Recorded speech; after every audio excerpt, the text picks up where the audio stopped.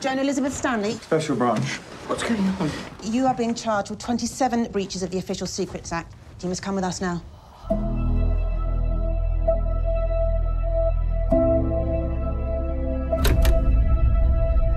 I haven't done anything wrong. There's a file on you, starting in 1938, when you went to Cambridge University. The world was so different then. You've no idea. I'm looking for a personal assistant. You come highly recommended. First class certificate. Specialising in theoretical physics. Even members of the cabinet don't know what we do. Am I allowed to know what you do?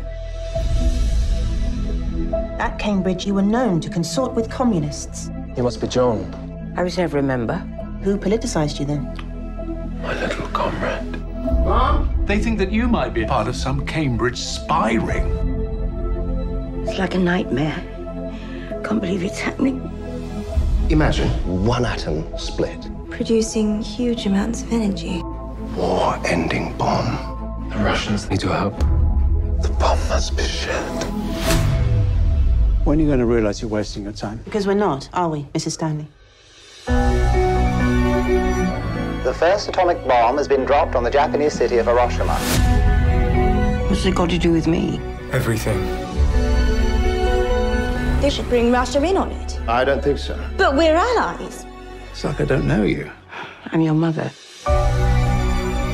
If all of this was going to be destroyed, what would you save? It's up to you, Joan.